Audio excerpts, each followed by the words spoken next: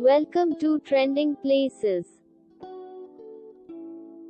Today we will talk about The Kayakoy Ghost Town in Fethiye, Turkey. The abandoned town in Turkey, the town of Kayakoy is located 7 kilometers from Fethiye and is situated along a hillside not far from the ruins of the Lycian city of Karmylassos, or another Lycian community because other authors claim there is no confirmation that it was exactly Karmylassos. So what is the history of Kayakoy ghost town? Greeks from the Dodecanese islands came here in the 18th century and established Levissi as a settlement. Greeks spent a great deal of time residing in this sizable town, which has roughly 3,500 dwellings.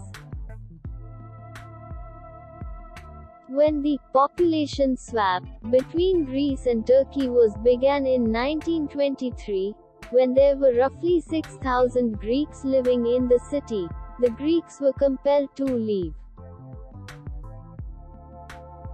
Kayakoy Ghost Town in Turkey was recognized as one of the world top 10 ghost towns according to National Geographic.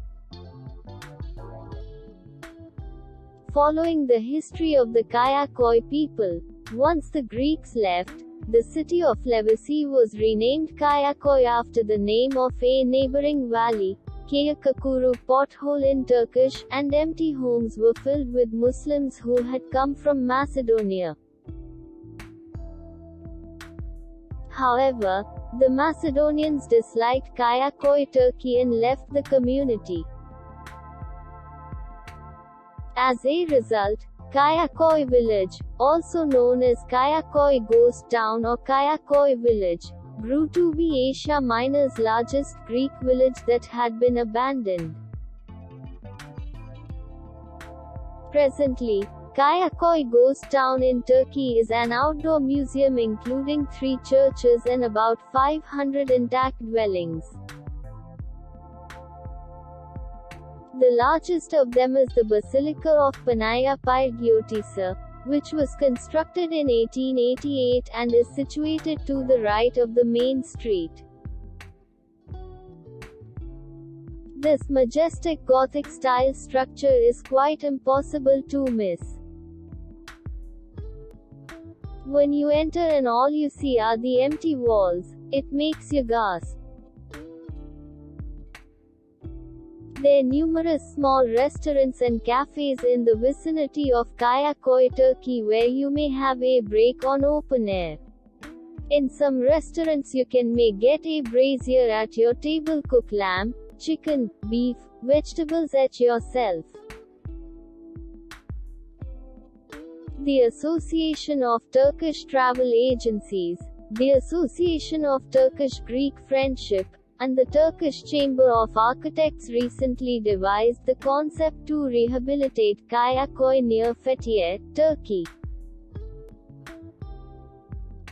This project calls for the restoration of all the homes, the chapel, the school, the library, the hospital, the shops, and a few other amenities. The ceremony will resume in the Kayakoy village's churches, which are adorned with stone sculptures, folks marble reliefs, and murals.